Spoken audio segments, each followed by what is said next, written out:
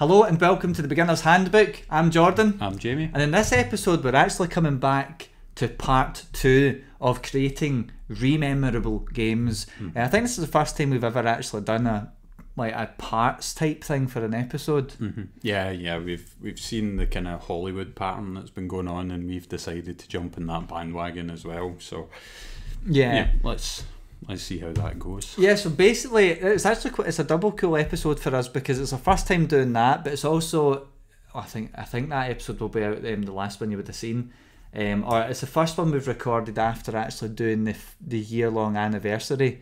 Um, so you've probably seen the anniversary episode, and this one's probably going out quite a bit after it. But Yeah. it, aye, it's going to be part part of the new format, so we we might be doing some more part ones and part twos or whatever, just just to try this new format that we're giving a go. Um, so what that was for those that might have missed that other episode is one I recommend checking it out because there's quite a few things we could spoil that's coming up. But uh, really, we're talk- the thing specifically we're talking around with the podcast is cutting them, making them a bit shorter, and just I think it's easier for us, but it's also probably easier for yourselves as listeners or watchers. Um, but anyway, that's beside the point. So this episode's part two of rem- creating rememorable games. So I, I think is there anything you want to say before we jump straight into it? Very quickly, if you haven't seen the first part, but you're gonna watch or listen to this part without watching or listening to the first part, what we mean by rememberable games is a game that you can you can recall not quite every single minute detail, but you can recall ninety percent of the events that happen, hmm. Even down to smaller things, without having to do anything that's particularly out with your routine when you play a game. So you're not suddenly taking notes when you don't normally take notes, or when you're taking your notes, you haven't got double the amount that you normally take, or anything like that. Just the kind of the games that stick in your mind for you know whether it be a right reason or a wrong reason. That's what we're talking about. Yeah, definitely. So, and just to kind of almost touch upon what we spoke about last time as well, when I say, or when we say rememberable games, it's not just talking about amazing, big, dramatic games with huge explosions and all that good stuff, although those games are great, by the way. But it's just about having games where even if people didn't take a lot of notes, that people remember what's going on.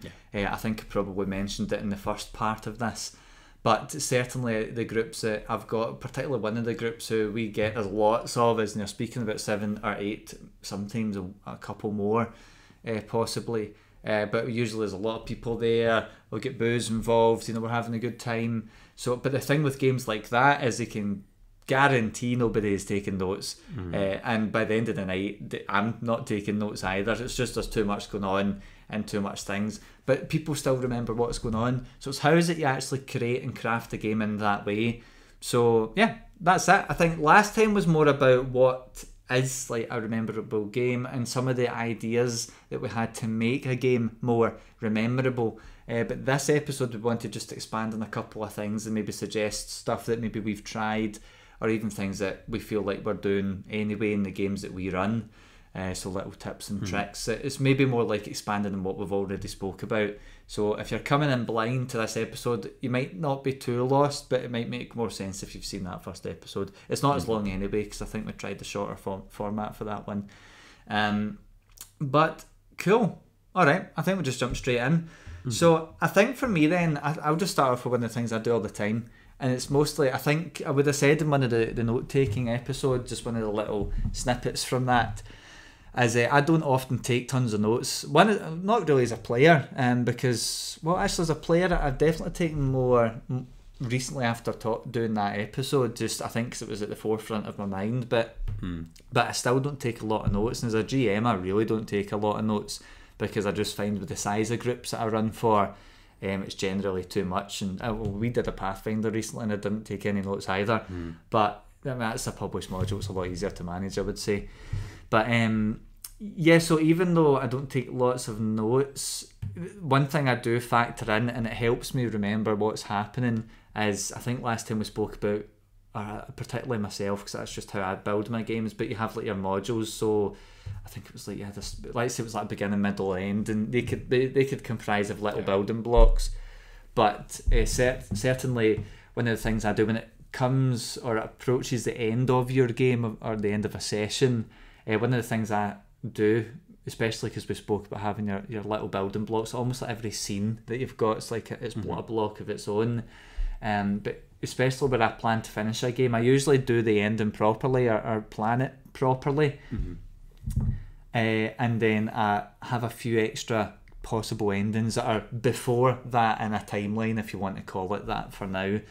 Um, so what I call that is it's a coding term, but it's a guard, what I call it uh, adding in guard clauses for your games. Um, so what I mean by that is, let's say, oh, did I use one of your games? Like, let's use Alien. I use Alien a lot, probably in reference not just yourselves, mm-hmm. but it, your game that we did of it. But the Alien RPG, what the Chariots of the God, or I think the other cinematic scenarios that they're built as Act One, Act Two, Act Three. So it's very much what I was talking about with like yeah. the the blocks. Um, so one of the things where I mean, really, I think it says in the front of that game it's a one shot. I've never ran it as a one shot. And I never had enough time to do that for sure, even at four or five hours. Mm. But uh, one of the ways you could do it, let's say you wanted to run it as a one shot, and part of the way through that game, let's say you get to Act Two and you're not done, and you go, I've not got another night. Um, one of the things I do in my own games, and you could do with Alien, is if you're if you realise you're not getting to your end point, there's loads of ways to, especially if you've planned it, mm. think of ways to almost end the game at various points. Um, with Alien, uh, oh, I don't sure this at the end of Act One, there's a big sequence with an alien appearing, and if you were expecting to get through the full game but only get to the near the end of Act One, yeah. you could use that as the ending. Uh, mm. And that's how you call the game there. Yeah. Uh, guard clauses in coding is basically just if you hit a certain criteria, it stops. You know, well, I won't go too much into detail, but it will stop doing the code and like go back. With, with the endings in games, it's almost like having these many ways to end the game. Can, mm-hmm. It means you've got various points where you could stop a game depending on how players are doing. Um, I can't. I don't even have any recent examples. Uh, well, I done a Warhammer game that had this where it was a big, lots of action, lots of blood and guts. People were dropped in and drop pods and straight into combat in a war zone. And I was expecting these guys to go get to an enemy stronghold. They did not get close to that at all. But I knew there's probably two or three points. Like there was a fight I wanted them to mm-hmm. get to, which they would definitely do. After that, there was a wee reveal of the story. After that, there was a stealth sequence, and then there was going to be the actual getting to the stronghold. So I actually pulled them back. We got to the stealth sequence, so I could build that up as the ending for that game and just yeah. cancel out the rest. And for me as a GM, it means I go right. We didn't get to the stronghold, so mm-hmm. we got to the stealth sequence. Pretty easy. Does that even make sense? Explain. yeah, yeah, um, it's just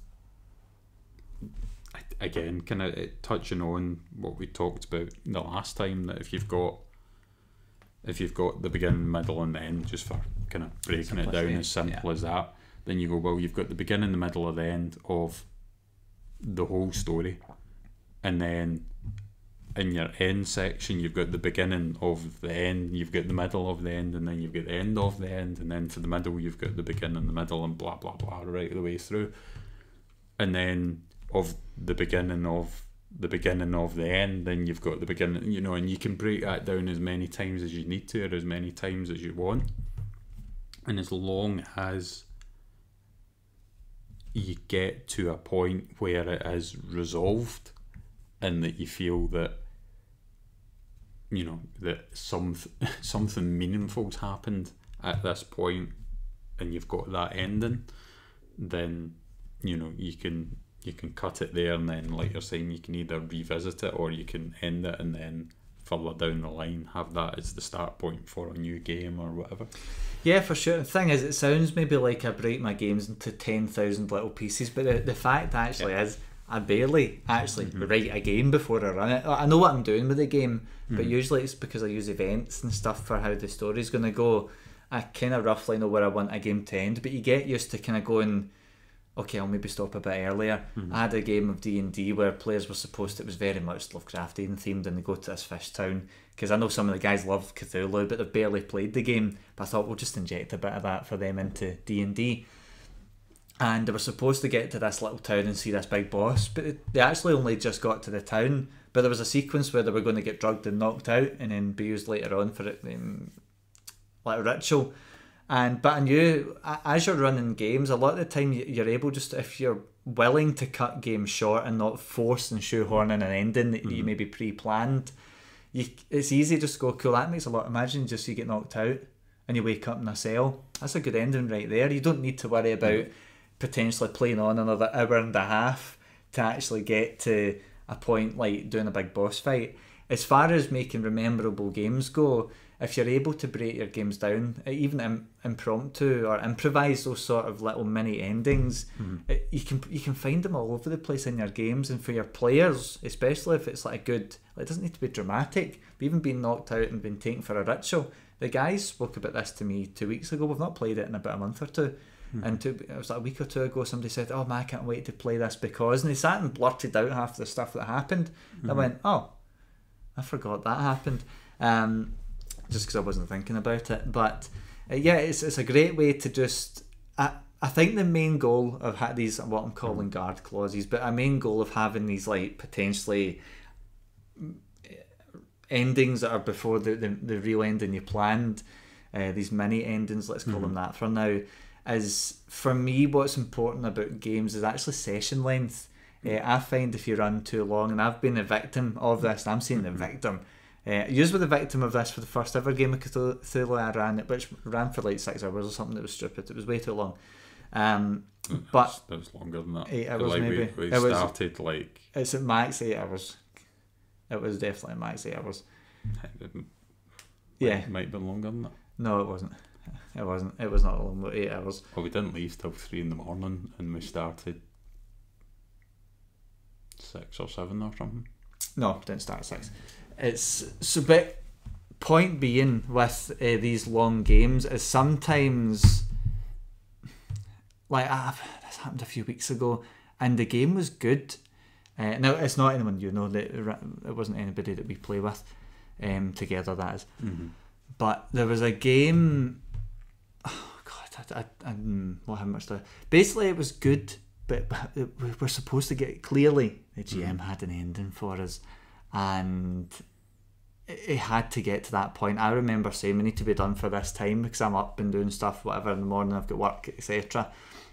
I know this guy doesn't maybe start work to late morning or afternoon in some mm-hmm. cases, so he's got more time in, in, in the evening. But I don't, especially when I'm driving people home at the end of the night. Mm-hmm. And it, it just kept going. I seen it. I mentioned it a few times. Like, look, by the way, we're here. I'm happy. How long's left? Because it's now quarter past eleven. You know. Mm-hmm. And basically, what happened is we were everybody was fatigued at this point because we've been playing for like four and a half hours. You know, and yeah, it just it went on and on. But at that point, people started checking out, and for me, this is where this like the the wee extra endings or the the potential pit stops before the one you planned is a good way to cut it down.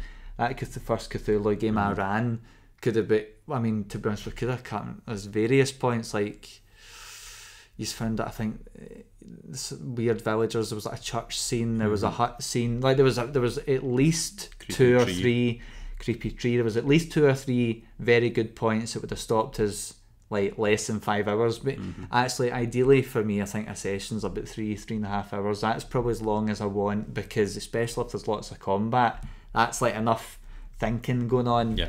And in my opinion, short and sweet's better than long and whatever the opposite, whatever nice mm-hmm. phrase there is for saying not sweet is. Um, because as much as I loved that Cthulhu game, it sucked because it was way too long. It was probably a three nighter. Looking at it now, yeah, it would have been, and especially since that was like the first time that three out of the four of us had used that system as well. So there was a bit of, you know, checking, double checking, doing something, and then going, oh no, I shouldn't have done, you know, and all the kind of teething problems you get with a new system. But ultimately, what I remember from that is that when you're talking about like people checking out and stuff, I feel that everybody was good up until pretty late on, and then it was just kind of all of a sudden like it, everybody just seemed to hit the wall at the same time. I think myself included as well. Yeah, but kinda, it, it was a strange one because I think it was as well because everybody kind of got fatigued at the same time. I'm sure you went, well, will we call it quits here? And Aye, everybody but that was went, dead late as yeah, well, though. yeah, but then at that point it was oh no, let's keep going, and ah, it's nearly done anyway. And yeah, it was, but because you're getting more tired as time's going on, it's probably putting more delays in between doing checks and stuff, which then meant that if we weren't tired, it was maybe like only another hour maximum that was left, but it ended up being the three hours or whatever it was. Yeah, because that was when it. So the game started about seven, uh, between seven and eight. I would say if you include people arriving or whatever. But let's Mm. say seven was probably when it started. And it went on to like three. That's a long game. Actually, how long is that? Seven, eight. So that's eight, nine, ten, eleven. One, Eight two, hours. three. Yeah, eight hours. I mean, that's a long. So it wasn't. It wasn't ten hours. Thank God. If it was ten hours, God damn, we would have been leaving at flaming five o'clock in the morning. Mm. But um, yeah, I mean, yeah, it was just way too long. I know, I know people that do that by the way, and that's cool, man. Some people like long games, but for me, if you want games to be super easy to recall, you know, you you don't want it to be hours long. Yeah. You know, I mean, you've rattled off a couple of the main points actually, which was at various points and quite spaced apart in some sections. But that's probably the main stuff you remember. Whereas if you if it was games I broke down and was better at kind of running, I think better at running, but better at planning, you might remember all these small details and stuff as well. Yeah, because he really, really quickly, and I won't bother boring anybody with it, but try to remember the details. I can remember a good chunk at the start, a good chunk at the kind of start to middle, middle, middle to kind of late middle, then almost nothing, and then the very last thing that happened. Yeah, I can remember. I mean, I, I remember most, but I ran it more than once. And the other group I ran it for, I think we did it in three or four sessions. Yeah. I think we did about two hour blocks. Um, so, but aye, so the thing is that the shorter the game, or you know, the shorter the game, the, the less people need to recall at the next session. And that's what's good though about having these mini endings because you can just go, oh, especially if I think if you're being a considerate GM as well, and you know people maybe work in the morning, you don't need to have somebody say to you, uh, "Let's finish," you know, before twelve o'clock tonight, please. You know, it's better just to finish a bit early. Um, even the guys I play with on Friday nights, we used to run to three uh, or four in the morning some sessions. So that's the sort of length that Yeah, that yeah. first game was, but it was every time, every week. Um, and we decided to stop that for a couple of reasons. But even now, sometimes I'm finishing at half ten. You mm-hmm. know, at late latest it's midnight, but usually it's half eleven. I'm cutting it early because I find okay, this is a good little mini ending that we've got mm-hmm. to, but it will take another hour to get to the ending I planned. But this is a nice Yeah. little ending here, so it's worth it. I really hope the whole guard clause analogy makes sense because I'll tell you something. There's a lot of GMs. I think that well, the one some of the guys I know that run games, I think they would probably benefit from that, especially guys that run on way too long. Yeah. Um, our group's not so bad for that at all, actually. Um, I think the latest we've probably ever run is like, mm, well, in the recent times is like midnight, and that's like pushing it, I would say. Um, whereas, and that's I'm talking about the last couple of years, possibly. Um, at least on average, maybe some outliers. But some other guys I know they're going an hour and a half overtime every week. You know, it's kind of like, mm-hmm. and something when you check out, you know, it's like I don't remember any games. I said that to one of the guys. I don't remember what happened last week at all. So sometimes I check out by the time I get there because I know it's going to be mm-hmm. three hours of combat. But um, yeah, so I think that's something that's it's definitely useful and it's worth trying. And it's maybe if you're not feeling good with it yet, you'll pick it up when you just you don't even need to make a big deal about it. Just do your game as normal and then go. Where's a couple of points we could stop before the main ending? Just do one or two additional endings before the one you planned, and just Yeah. they plan them in as almost like an extra dot on the timeline. And you might find people remember games a bit better. Um, you don't need to make it big, a massive spectacle, but I think it's worth just it's worth trying it because um, I, I feel like people remember the games quite well. I think you didn't have any issues with recalling any of the recent games that we that I ran. I think you were really good with Alien. I think you were on the ball with that one. And Warhammer, I think you remembered more than I did. There was a few things I totally forgot about. And then you just blurted it out during the game. I went, oh, better just forgot about that. I had to change Quick- a wee thing. scribble. There was something I'd added in because I forgot that you discovered something. I went, Mm-hmm. oh, I better change that. And I had to change it on the fly. Yeah, um, pretty much. And I, again, with that one, I think it is pretty much pretty much like you're saying, rather than going right, well, we're kind of near what I'd planned, so I'll just plough on anyway.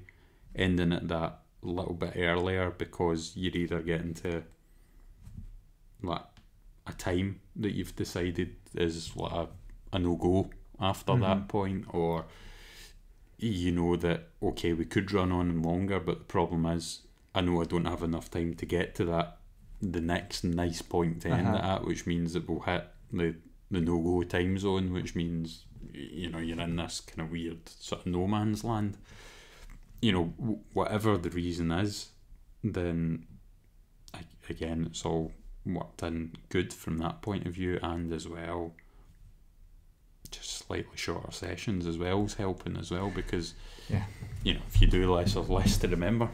You know, To- So- totally agree because when I did Alien for the, the other group I mainly run for, um, they got partway through Act Two and it was months before we played the session. So I basically said we're retconning it until the part, or we're reversing everything right up until the alien showed up, Mhm. and then we'll just you can redo. Everybody remembered what they'd done, which I wasn't really impressed with. But they, some of them just redone what they'd done, Mhm. but it meant for new players, they had a good new starting point. So there was a couple of new guys that joined us for that game. So it's definitely worth doing. And as I say, sometimes it might not sound that great when I say you don't need a big flashy ending for it to be memorable. But the difference between having these many endings in and not is if you keep pushing to try and get to your ending, either people just don't enjoy the ending the way you wanted it, Mhm. eh, the way you thought they would. You probably don't do as good a job as you wanted to because you rushed it, or potentially you're stopping in the middle of a combat sequence, which is just a it's not a great way to finish a game. I think, um, or even in the middle of an investigation or some expedition piece, you don't want to end in the middle of something. It's better just to call a, a close at, at something else. I would say. yeah, Um, but yeah, I think that's really all I've got to say about the eh, kind of mini endings or Mhm. what I'm calling guard clauses for this. Hmm. Um, yeah, uh, do you have anything you'd like to add next? Or in terms of like the guard clause stuff, another way of thinking about it from the kind of video game perspective, checkpoints, you know, that kind of thing. But yeah, that, that's a good point. the reason I didn't really say that earlier on is because like with a checkpoint, you know, you're not done and you're always gonna kind of get forced back to that point. But it's kind of rough way of thinking about it. It's, it's actually it's probably a better fitting analogy um, rather than some technical coding Nah, term. Broader But- sweep, but Yeah, it's it's but that's a it's a perfect way to think about it. And rather than the only caveat is just don't think about people losing progress. It's just the checkpoint is actually get up to the checkpoint and then you can get out of there. You quick save almost and leave. auto save. That's a better Auto one. save. Quick, ah, yeah, true. Um, so yeah, I think the next thing then, Hmm. moving on to just expanding some of the stuff we spoke about before, is actually this isn't so much a tip more than just something a general piece of advice, and it's just understanding that all endings are going to be flaming phenomenal cliffhangers. You know, they don't need to be actually. And in most cases, the games I do that not every game's a cliffhanger at all. Mhm. Uh, some games aren't. I think Act Two, the end of Act Two for Alien, I don't think had anything particularly special. The end of Act One was the, the alien, which is like oh crap, but there's nothing for Act Two. Yeah. But that doesn't make it a bad ending, you know. Um, it's, so it's worth just as a GM, if especially if you're a newer GM, you know, while cliffhangers are gold, they might not necessarily make the best ending if you've maybe went over time and Mhm. are then potentially going to rush the cliffhanger. You know, you're almost better letting that sit. Um, Mhm. or giving it space, but you also don't want to push past times that people are going to start losing their um, interest in. That happens to me a lot because I, I run so many games and play, run and play. Sorry, I should say, so many games because I mean I'm playing. Well, now I'm I'm down to three or four a week, whereas I was up for four or five a week, and when I was doing four or five, I was running all of them. Bar and people were asking you to do more. uh, I was asked to do another uh, one actually now, but um, so not right now, but recently. So it's at that point like. Especially when every game I was doing it four or 5 Mhm. times a week was going over, I just started going. I can't bother with this anymore. You know, Mhm. um, it's just it's just too much. Um, so you know, just be comfortable with maybe an end ending not being great. If you're going Yeah. to use the checkpoint idea that we've spoke about, or the guard clause now called uh, checkpoint from now on, uh, idea. You know, understand that the end it might not be great, and even level with people. I do it all the time. It's like they get to a combat sequence or just before one, and I'm going, look, I don't want you to run into combat, so we're going to end it here, and this is a bit. Uh, you know, and people are cool with it. You know, they're all right, especially because they know we can chat about games. And a lot of the time, I find if you give people, if you finish early, sometimes people chat for a bit about the game and almost reconsolidates everything in their brain. Um, so yeah, I think the main thing is don't worry about having some dramatic ending every single game because while cliffhangers are great, they're be- you're better giving them the time to sit and land mm-hmm. than it is to rush them through. Um, mm-hmm. And certainly all my endings aren't amazing, but everybody seems to remember what's happening, you know, um, because I I finished them with something easy to remember, I guess. Yeah, yeah. And I mean, the thing is as well, like talking about that kind of period to talk about things after the game, and then you know going off and heading home or whatever it is. Like a thing that we get told when we were in school from a teacher who I don't know if she realised the kind of impact in a negative sense this would have on people was that when it comes to studying, your brain remembers a lot of information just prior to you going to bed. Mm-hmm. Which to me went, hmm, don't do the work during the day, yeah. cram for five minutes, go to sleep. Um, but you know, it, it's that same thing as well. So if you're playing in an evening and then everybody then goes home and then gets ready, goes to sleep, if you've got that period of chatting about it and whatever beforehand, whilst everybody's still fresh, everybody's still awake, then it then means that when you then sleep, wake up the next day and things, it is still going to be rattling about there somewhere rather than you know, it just gets lost in the ether. Yeah, it's something I see, especially, I mean, more often than not in the, the games that run on Fridays, if it's the kind of OG, the original campaign that mm-hmm. we've been doing now for over two years. It's crazy to think. Um, it started off as a one shot, and now they can't get, we can't stop playing it.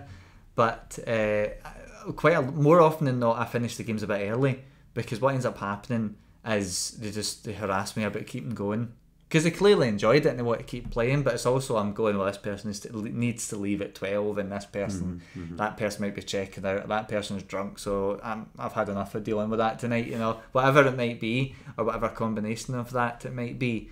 Um, more often than not, though, if I leave the room or I'm getting a drink or whatever, they're scheming because they want to beat me, and they always beat me in these games. It's a pain in the ass. But they, you know, they sit and scheme stuff and they'll, they'll mm-hmm. chat about it. And for them, that's also part of the fun. Whether or not I think they, they recognise that now, but certainly in the earlier days of cutting it short, they they didn't realise that that was actually part of their um, ritual for the games. You know, it's like that's actually the scheming. It's almost like the in character stuff happening, but the GM doesn't need to be present. Uh, and I know they've got a separate chat to scheme against me because they showed me it, and there was some pretty good plans uh, in it. Although that was for stuff that it already happened, so mm-hmm. I couldn't use that knowledge to my advantage. But um, yeah, for sure. So de- mm-hmm. I basically, I get comfortable with just knowing I didn't need some dramatic um, series ending or a series style ending for every game. You know, I just I just finished at times it was most appropriate. Yeah. Um, I think on top of that, I would say, and this maybe happens, maybe not as common, um, but certainly somewhat commonly is if your game ends on a low note, that doesn't mean it needs to be a bad ending. It, people might be happy to go, yeah, it's a good place to stop. It might not be dramatic, but that's actually a good chance to take it. You could take advantage of that. Mm-hmm. And we spoke about there um, with people talking about the games to each other after a game. You, as the GM, can literally just summarize for the ending itself. You summarize out of character to the players what they've done, what their intentions are, and you just narratively try and describe it and make it sound very cool. Like if they're going on this new adventure, you know, you can mm-hmm. describe it as that and and kind of try and get them involved just in your summary, almost the way you might do a recap or an introduction. Yeah.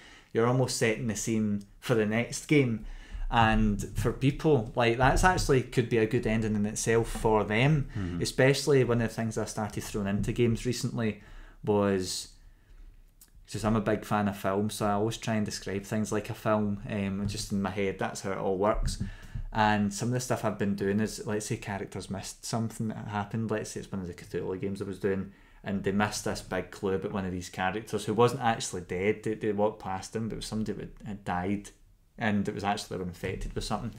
So I actually had to pull away from their characters, the, the scene, and like swoop into this other room, but this guy was starting to get up and go for them. Um, but I used that as the the cliffhanger for the next game Mhm. because I just gave them because we were now out of character and I was doing a summary. Almost done an out of character thing. Their their guys don't know, but as players they then go, "Cool, this is what's Mhm. going to happen next game." And some people maybe argue it's spoilers, but I find more often than not, you know, players enjoy being immersed in the game, but they also like because they're role playing. But as players themselves, they enjoy to know what else is going on in games. A lot of some Yeah. players ask for lore, even though they don't really might not know it necessarily. I do Mhm. it with um, our, our main, um, the guy that runs most of our games. With some of his stuff, I've asked him about some of the wider implications of stuff. Not Mhm. that my character would know, but because I'm interested, because he's put Mhm, mhm. a, a huge amount of work in. Yeah, yeah. I mean, it's like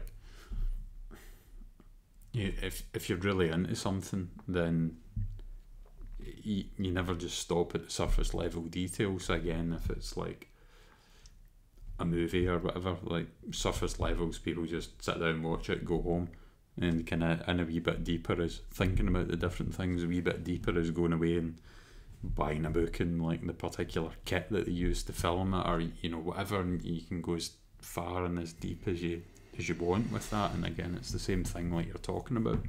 Somebody might, you know, create that world and whatever, and all the characters are doing what they're doing. But like you're saying, depending on how experienced they are as a DM or GM, how much time effort they've put in, how serious they are about it, that you know, every every time that you kind of get to the next layer, they're probably already two or three layers ahead of you and, and working and working and working and going to continue to work in that setting. Mm-hmm. So, Yeah, definitely. I, I'm, I'm going to give some spoilers of Alien because this is how you could do it for Chariot of the Gods because this is like the perfect the perfect example for, for it. And you've never seen it. Actually, I think everyone I've ran it for has not seen this yet because the sessions, I wanted to make sure there were just three sessions, Mhm. short and sweet. Um, but there is a ship actually, and you actually see it at the start of the game. So when the players that they're a part of the USCSS Montero and they're going to check out some distress signal, um, and if players succeed in a certain check, or I think you can, you can just give them the, the, the success, um, they actually identify another ship. So it's Mhm. not the Cronus, which you're going to, it's another ship on the outside, um, and it pings on the radar as something unide- unidentified. And one of the things that you could use to just to kind of give you an idea, like if we were to end Act Two, I can't even remember how that ends, but you could resolve what's going on in game with the players and finish off whatever bit they got to. And when you're actually pulling back and maybe doing just a summary of the game, you can be pulling out and actually showing them like the so pulling away from the Cronus, you see Mhm. this other ship appearing from from the back, you know, and almost silo, almost like you get a three quarter shot from behind of this new ship looking over to the Cronus, firing its engines and then heading towards it. Then people go, "Oh crap! There's a ship coming to our sh- new ship. What the hell?" Um, and and that's a way for to give players. It's almost is it dramatic irony when people in the theatre know stuff that the characters don't. Um, I can't remember what, what the phrase is they use for that, but players, I, I find personally, at least maybe it's just our group, so mhm. um, we, we quite enjoy knowing some of the extra stuff, even though our characters don't. And we- we don't act like our characters know. We, we do what our characters would Mhm. do with the knowledge they have, but we know something cool's happening, and we might even try and work with the GM to make that work and Mhm. make things smoother as well. And I think it's a, it's a great tool to kind of get people. It's it's an easy way to get a good ending that's easy to remember. If you give them something cool, it doesn't always need to be from the perspective of the player characters. It's just something to think about because you'll Mhm. probably find and realize quite a few um, ways you could be bringing that into your games, and it's also a good way to add hints to games. Yeah, yeah. And again, a sort of flip side from that is that, say, a cliffhanger. I mean, that's Mhm. probably the most obvious kind of dramatic tool for setting up another game, another film, another, you know, whatever. But if you're doing that every single session, every single time, then it, number one, the cliffhanger starts to lose its impact. And if you start out with something small, then to kind of have the same impact, you need to go bigger and better the next time, and it kind of snowballs from that point there. So when you're coming to an ending, try and switch up how you're doing it. And you said earlier Mhm. on about you know doing something almost kind of unassuming to end it. If you do that something unassuming, then when you restart the next time, then if you're leading into something that's dramatic, if you you know calm everything down, and then they walk into a, a trap, an ambush, or whatever, then it's it's switching that up. So you're given rather than the big climactic scene at the end, you resolve it nicely. But then at the start, there's something really dramatic that then sets everything up going there forward. So it's almost like it's almost like taking the cliffhanger, but you know, shifting it to the start.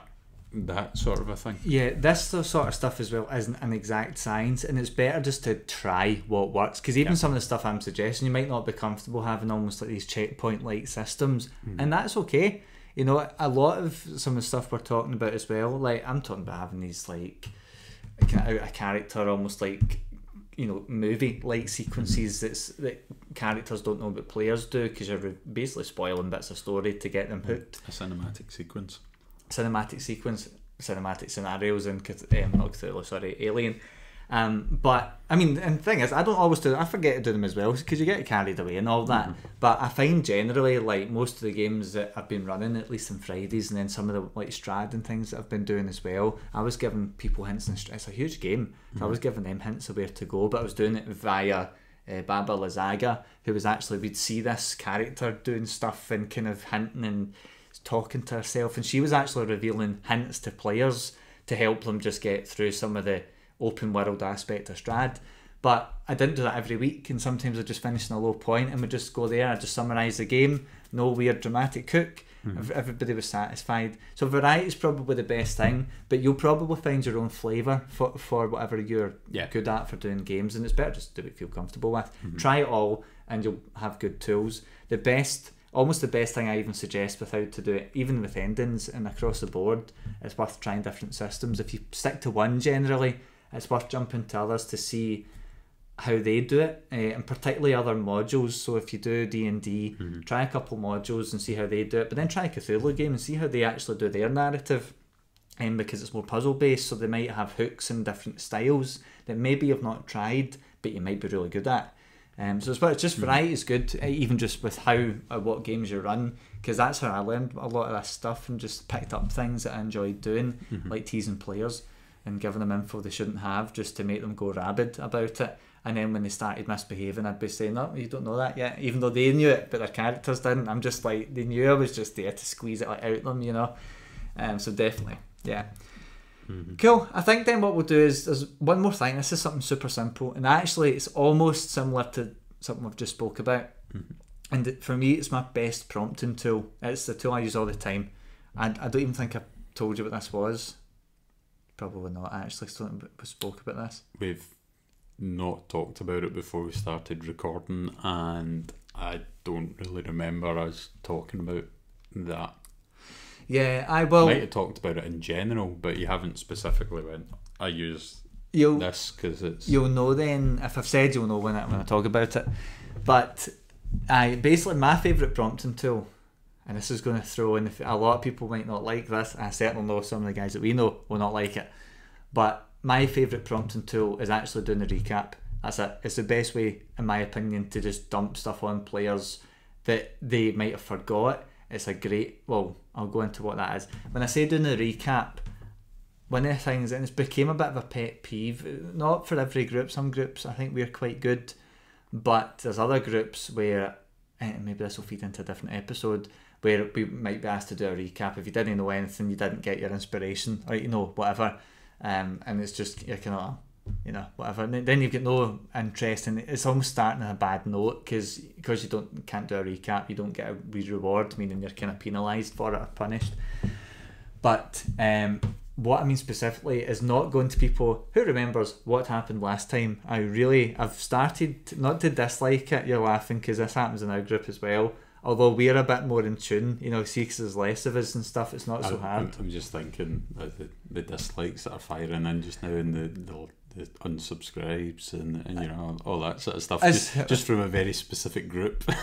yeah, uh, but, but and hear me out is what I'm going to say because and there's I sometimes ask people what happened last time too because I might not actually remember or have the note, but my main point to actually having games that are more memorable is actually you as the GM doing the recap. I think that's way more effective because what you can do, and that doesn't mean players don't have input in the recap. Don't mistake me for talking about like making it sound like it's a GM monologue. It's not that at all. Mm-hmm. What I think you would might have noticed it with Alien, but definitely done it with, with Warhammer.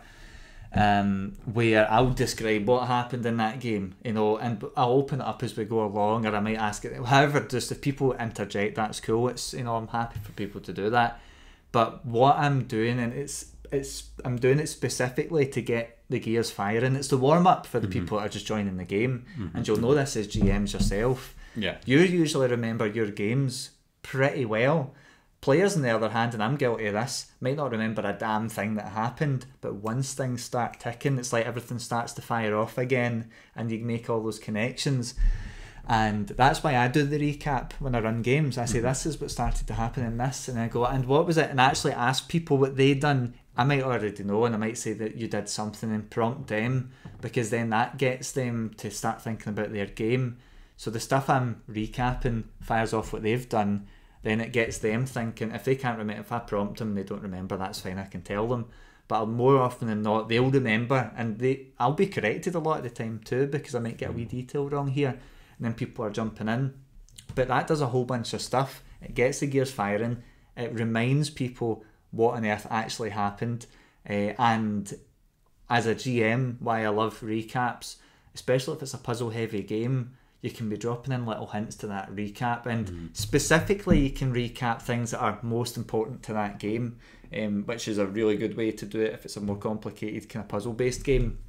Uh, you can really drone in what people are hone in, sorry, on what people should be focusing on naturally in a way that doesn't sound like the GM giving you hints. Um, but especially if you've just recapped something and the last thing you say is probably the step they should be taking, they're probably going to do that step. Not always, because it never goes to plan. But that's the recap is by far, at least me as a GM doing a recap. I think that's by far. mm, I think the sim- the easiest way to get people back in, um, and especially just remembering things they probably forgot. Because by the end of the recap, everybody's chatting about what they've done as well and correcting me and stuff, and that's cool. Um, because the whole point is you've recapped the game and it's now rememberable. On top of that, it re- it consolidates everything that happened anyway. So sometimes people just, Yeah. you know, don't, they don't need to recap. Mhm. Thoughts? That's silly sounding. No, um, with the recap as well. This is this is something I've had personal experience of over the last last little while. Um, and again, bizarrely, after talking about our note taking episode and doing that more, um, this is all ties in with the same thing. Um, because a lot of our games are done through Roll20 Yeah. then you know you're relying on technology and recently for me over the past Mhm. month and a half Yeah. maybe longer uh, I've been having horrid horrid brutal. horrid issues with it um, delays of up to was it seven seconds at one That point was the worst one. It's Yeah. usually about four or five, and it's went up to seven. I mean, who knows? Maybe even longer though. yeah, yeah, possibly. So I've had that. I've had um, random crashes. I've had a like all you guys like video and voice out of sync, which then means you think somebody's not talking, so then you start, but then somebody is, and you know all sorts. And my note taking tool was the the computer that I Oh, was is that using as well. as well? Yeah, but then with the, the screenshot that showed you all the processor Ah. stuff.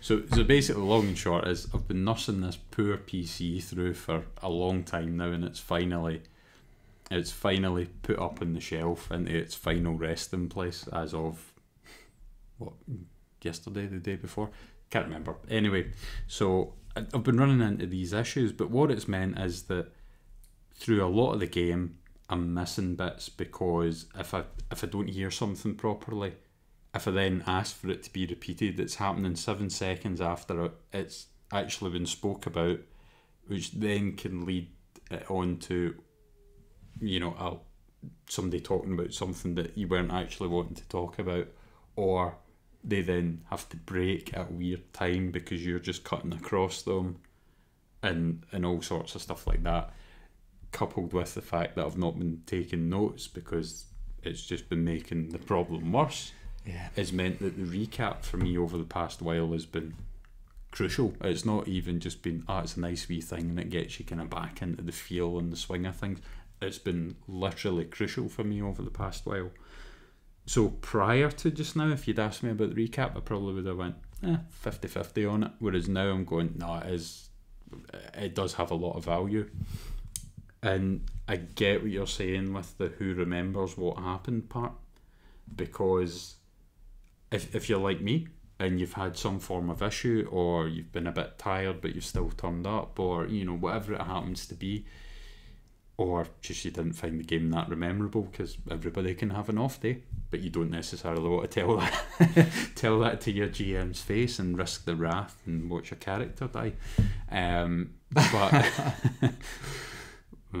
so you know, at that point, the who remembers what happened? It's kind of like talked about it earlier about being back in school, being in an exam hall, and getting quizzed to the, you know, whatever, whatever degree. So starting off like that, it can potentially put your players behind the eight ball and kind of get them a bit uptight, either through them going oh, I don't want to upset them if I miss out a key. De- uh, I don't want to upset the GM if I miss out a key detail. I don't want to upset the other players there if all I do is talk about myself because that's all I decided to take notes on, or you know whatever kind of micro micro anxiety that somebody has about it. You're asking them the question, so you're you're putting them in the spotlight rather than what you're saying, which is so you know, so last time this happened, this happened, this happened, and and it's just the GM doing it. That'll be all right for more kind of shy players or whatever. But if you've got a bolder group, then it's kind of leaving them on the shelf at that point. So like you were talking about, then bringing people in doing a kind of hy- hybrid thing between the the sort of narrative retelling of the story, the summary, and almost getting the players to kind of reenact some snippets between it, mm-hmm. I, I think is the best combination for it. And again, if the GM leads, then it's probably the best, the best of both. And then again, even if it's a kind of a full memory issue from the GM, and then they go, oh, and, and you done, and leave a, a pause or oh, and what was it you said again? Oh, yeah, that's right. They said blah blah blah, and then taking it over and then running it in for the next person, the next person until everybody's kind of being sort of not invited to speak because that sounds horrible, horribly kind of corporate. Uh, yeah. You, you're not spoken unless you're spoken to, but you you know that kind of thing. Just bringing everybody on board, and then when you're happy, everybody's kind of said something or everybody's kind of engaged at that point, then you're ready to hit start and then go forward from that point. Yeah, and I came in pretty hard on not liking what happened last time, but I mean, it's not that I would never do it. Hmm. Um, I just, I just personally don't think it's a good way to. It's almost, it feels like a cold call to me. You know, I get people at the door asking about getting a new boiler, Hmm. and I say to them, I'm not interested. And then they keep going in their spiel. I'm like, ah, for God's sake, this. this for, so when I'm asked things, especially games that I've maybe not been that interested in, Mm. you know, I'm asked, I'm just going, oh, man, I don't care. But, but that's the thing as well. Like even like it's good trying different systems. It's good trying different settings and whatever else. Like um, like for me, I'll hold my hands up at this point. Wasn't that interested in trying the Warhammer game? How dare you? How did you enjoy it in the end though? Okay, things I knew you probably weren't going to be that interested. I think I said to you a couple of times, but you don't need to play it if you don't want to. Yeah, like, yeah, yeah. But he said, of course, it, wasn't like Jamie wasn't weird about it. Then he just, Hmm. it just I knew it wasn't a, a topic that you were as interested in, and that's fine. There's nothing wrong with that at all. Yeah, and I mean, ultimately, the thing is, like, for me saying yes at that point wasn't because I'm going, oh God, Jordan will Jordan will break down here if, if I don't turn up. Aye, you know, yeah. he'll, he'll he'll go to pieces. and I need to turn I up. Struggling mess Uh, over not running the game. what was it? You know, it, you know, it's nothing like that. It was. I went right. Well, it's a new system we've not done. I I know bits and pieces about Warhammer. I don't know a lot, so I'll find out a little bit more. I don't think I'm going to be particularly into the setting, concept, world, whatever. But let's see what happens. I didn't think I was going to be into D and D and RPGs, but I tried it. Turned out it was all right. This is what's good about our group, though. We're very Yeah. much up, up for stuff. Mm, yeah, but anyway, turned up, done the game, enjoyed it. Again, if I was asked, you know, like Warhammer, Cthulhu, Alien, you know, big list of stuff, it's probably going to be at the bottom Mm-hmm. still because in general, it, it just for whatever reason don't particularly click with the world set and whatever. But still enjoyed it, still had fun, still done something new, and would quite happily play it again. Just if I had the choice, I'd be picking other stuff. Yeah, and but that's the thing. And when it comes to games that maybe you're not interested in, or if there's games you're, you've bought into, it's a lot mm-hmm. easier to remember the events of them. Yeah, You did a you did a good job at it because there was a lot of crap I was throwing at Jamie because it was playing. But that was the. Sorry for jumping in and over you there, but that was the bizarre thing about that game. Me, Zero Well, interest in Warhammer, pretty yeah. much. Aye. only one other player I could think of who's got less interest than me. Uh-huh. Aye, and they thought they didn't realise it was in space. That that's how. Which I little was shocked that's, at. That's how little the interest was. At least me at the start of the game. I think I was like the third most knowledgeable player, but then by the time the game got ran, I, I, I dropped down a position. I think Yeah. because I I, didn't bother doing any research at Aye, that point. aye. But at the start, before it happened, I went, yeah, yeah, so there's 40k, and then there's Warhammer itself, and you know, I had that Yeah. kind of vague, Vague, knowledge of yeah. it. Um, but you know, during the games and it was the recap, I think it was me. It was recapping most of it, Hmm. or yeah. at least did I, I not? was. Did I not like the? No, no, you, you still done that and things, but it was me going, ah, yeah, but Oh, remember I we done this, remember we done that, remember, you Aye, know, that's right. Yeah, yeah. you were really good with all the stuff. I, I was shocked because for me, it's hard to remember games that I'm not interested in. Like even settings, I might be interested in the game, but the yeah, like Jamie, I can't remember what class you played. It was one of the kind of. the, It was an Adeptus Mechanicus. That's this it, one, so that was it was a group, a, a person from that kind of side of things, and some of the awesome stuff that you'd actually selected um, in terms of your abilities was like very. There was a lot of lore to some of it, and there's a lot of stuff about the Omnissiah, and I even. And I knew I was being cruel, but I made you do a prayer to the Omnissiah, some crap like that. And I knew you'd have no idea what you were doing. I couldn't resist. Um, but but still, you still remembered I, the I, games. I think I winged it pretty well. It, did, did great. I think he gave you Wrath points for it, or a Wrath Mhm. point for it as well. Yeah. But um, But- yeah, But yeah, so you know, se- the second least interested person in the room, but probably the person that remembered the most. Why? Ultimately, you know, it, it doesn't matter. I think me looking at it, it doesn't matter whether you're interested in it. It doesn't matter whether you particularly enjoy it or not. It's about your engagement, and from start to finish, I was engaged.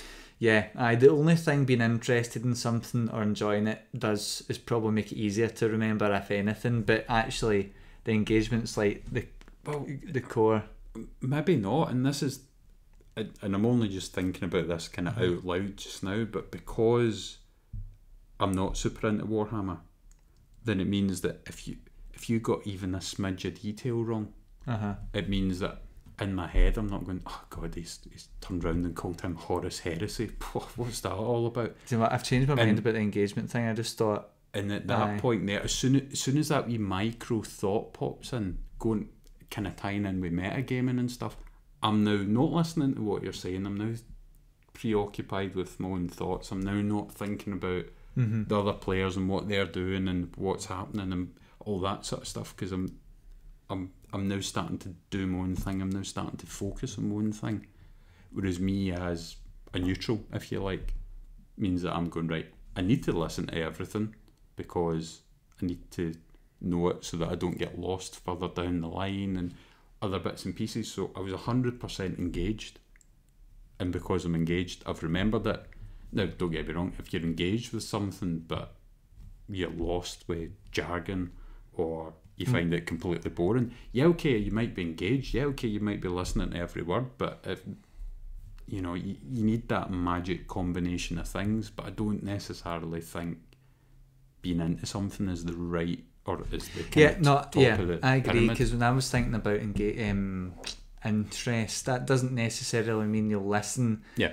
I know from experience, I, but then it's maybe it's engagement because I've just not been interested enough to engage. But then there's games that settings that I'm trying to think of one of the ones the guys have done because there's a few things I remember seeing in the past. Like Stars Without Number, I don't think I was really interested in playing that, but I was up for trying a new system. Didn't so I was and I still enjoyed the game, enjoyed the story. I was engaged enough in it.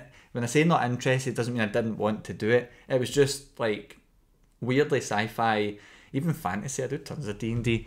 Fantasy is not something I'm actually that interested in. I wouldn't seek out a fantasy thing, you know, to watch. Um, so you know, it's not like I'm going to go out and try and if I was w- watch a film, I'm going to pick out some nice fantasy film. It's probably a scary film, you know, but I still have a good time with it. So anyway, I think then the, the bottom line with this is that recap is a great yeah, I tool agree with you. and yeah, and I mean, quite often I'm offering people, I might summarize someone's actions, say, "Uh, have you Mm. got anything else to add, and I'll get them to bring in, and it makes it more collaborative, but also means as a GM, Mm. Yeah. I can, I, it's my responsibility to get people back, Mm. back in, and immersed, and I think me leading the recap rather than just leaving it as an open, almost toss a coin into the middle of the Yeah, table and- situation. and, and again, I've, I've said it before in other episodes and things. If you, one way of bringing people on board is to kind of sort of throw yourself under the bus a little bit. So again, if you if you got that kind of shire group or whatever, but you're still wanting to get them involved, then do the recap, do everything start to finish, and then at the end of it, go.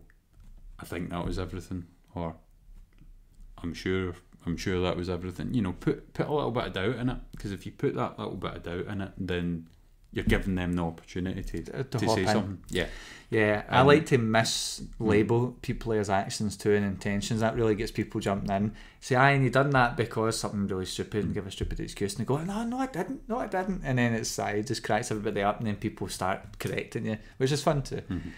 But um, aye, so that's the kind of main thing. Most of the basis for all of that was stuff we spoke about in episode one. Yeah. Uh, I said we'd try and keep it short, and, I've, and we've seen it's longer, but that's fine. It's fine for this episode. But you'll start to probably see some of them will be a bit shorter, a bit longer. We'll see how we do.